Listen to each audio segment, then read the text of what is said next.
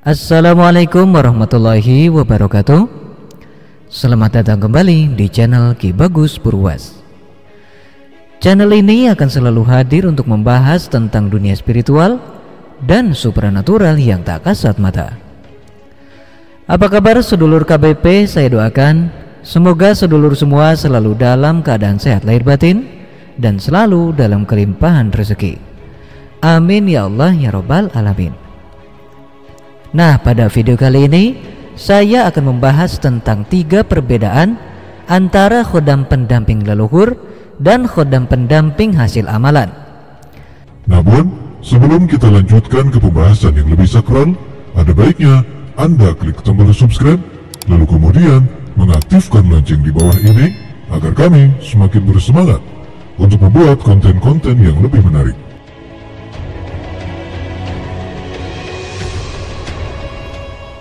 Dalam dunia spiritual, sudah tidak asing lagi ketika mendengar istilah jin khodam pendamping. Khodam pendamping sendiri merupakan hadirnya energi dari dunia goib yang bersemayam di dalam tubuh manusia yang tujuannya jin tersebut dikabarkan untuk membantu, membimbing, dan mendampingi tuannya selama di dunia. Khodam pendamping ini kental dengan kekuatan khususnya Misal, khodam pendamping berjelma sebagai prajurit yang memiliki keahlian bertarung cukup handal. Maka, kekuatannya akan didesikan untuk tuannya terutama dalam keahlian mendesak. Hingga saat ini, masih banyak orang yang belum mengetahui asal-usul khodam pendampingnya. Menurut pengalaman kami, ada dua alasan mengapa khodam hadir mendampingi seseorang manusia di bumi ini. Yang pertama adalah khodam tersebut datang dari garis keturunan. Misal, khodamnya kakek buyut kita diamanatkan untuk mendampingi kita. Lalu yang kedua, khodam hadir karena hasil perjalanan spiritual yang dilakukan oleh kita selama hidup. Misalnya kita sering melakukan puasa, tirakat, dan lain sebagainya.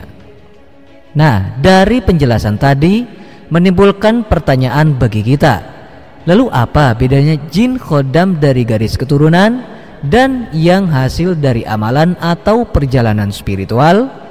Baik, sesuai apa yang saya tahu dan persis seperti pengalaman pribadi saya dari khodam pendamping keturunan dan yang bukan memiliki tiga perbedaan baik secara fisik dan dampak bagi tubuh si manusia itu. Maka dari itu, simak baik-baik video ini.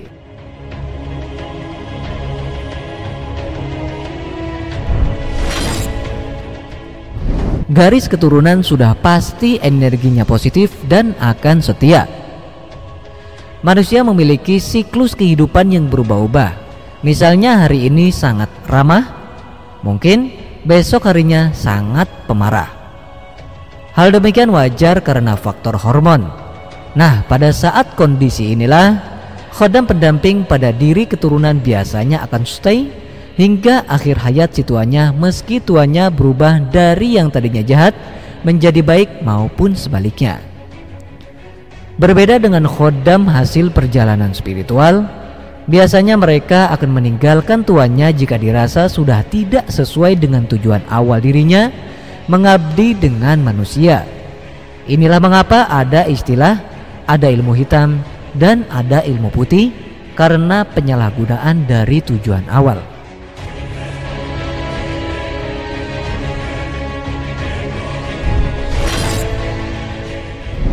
Mengenal dan memberitahu jika anggota keluarga lain berada dalam masalah. Jin khodam yang berasal dari keturunan biasanya mengenal seluruh anggota keluarga tuanya sehingga ia mengetahui semua keadaan keluarga si tuanya itu. Apabila terjadi sesuatu dengan kerabatnya, biasanya khodam akan memberikan kabar dan tawaran untuk bersedia membantu keluarga lain. Misalnya dalam sebuah kasus orang tua dari tuanya sedang diguna-guna oleh orang lain, maka khodam pendamping itu akan menawarkan bala bantuan kepada tuanya untuk dikirim langsung kepada ayah tuanya itu. Berbeda dengan khodam hasil perjalanan spiritual, Khodam ini cenderung hanya bisa membantu pada diri tuannya saja, terkecuali keluarga atau kerabat tuannya memiliki energi yang sama, maka barulah bersedia khodam ini untuk membantu.